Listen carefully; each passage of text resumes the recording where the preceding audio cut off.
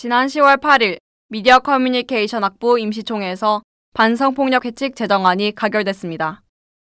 2016년 트위터에는 내부 성폭력을 고발하는 해시태그가 퍼졌고 2018년 1월 서지현 검사의 성폭력 피해 폭로 이후 성폭력 고발 운동을 의미하는 일명 미투 운동의 목소리가 사회적으로 높아졌습니다. 이와 함께 본교 학생사회에서도 지난 7월 발생한 광고 홍보학 간의 성희롱 및 성추행 사건과 작년 대두된 영어 영문학과 A 교수 성폭력 사건 등 9건의 성폭력 피해가 공론화됐습니다. 이에 미디어 커뮤니케이션 학부 학생의 미담은 이러한 흐름 가운데 성폭력 사건에 대한 공동체적 해결의 필요성과 학생 자치 활동의 민주적 가치 실현을 바탕으로 반성폭력 회칙 제정을 위한 임시총회를 진행하게 됐다고 밝혔습니다. 미담은 지난 5월 총 18명으로 구성된 반성폭력 회칙 제정 준비 모임을 통해 7월부터 3달간 7차례 논의를 거쳐 제정안을 작성했으며 본교 총학생회를 비롯해 지난해 여타 학생 대표자 회의에서 제정된 반성폭력 회칙을 참고했다고 밝혔습니다. 이를 바탕으로 9월 17일 개강총회에 중앙대학교 미디어 커뮤니케이션 학부 반성폭력 회칙 제정 안건이 상정됐으나 정족수 미달을 이유로 무산됐습니다.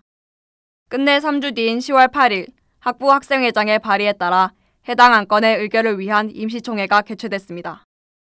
총회에서 밝힌 본회 측은 미디어 커뮤니케이션 학부 기반 활동에 참여하는 모든 학생을 대상으로 설정했으며 성폭력으로부터 해방된 공동체 형성을 목표로 하고 성폭력을 행위의 의도와 무관하게 개인의 성적 자기결정권을 중대하게 침해하는 행위라고 정의했습니다. 임시총회 결과 참석 인원 75명 중 찬성 75명, 반대 0명, 기권 0명으로 중앙대학교 미디어 커뮤니케이션 학부 반성폭력 회칙 제정안은 가결됐습니다. 실제 성폭력 사례를 접하게 됐거든요. 반성폭력 회칙 자체 제정 필요성을 느꼈던 것 같습니다. 음, 근데 만약에 성폭력 사건이 발생하게 된다면 이 회칙들의 적용에 있어서 서로 충돌할 수도 있고 회칙보다는 그 형사처벌 그 과정이 치중돼서 회칙의 내용이 온전하게 실행되기는 어렵지 않을까라는 생각도 이 밖에도 심리학과는 반폭력 회칙을 제정하여 반성폭력의 내용을 포함했으며 사회학과와 사회복지학과는 반성폭력 회칙 제정 논의 중에 있다고 밝혔습니다. 반성폭력 회칙의 뜻이 계속 이어지려면 구성원들이 그 뜻에 공감하고 계속 논의를 이어가야 한다고 생각을 하고요.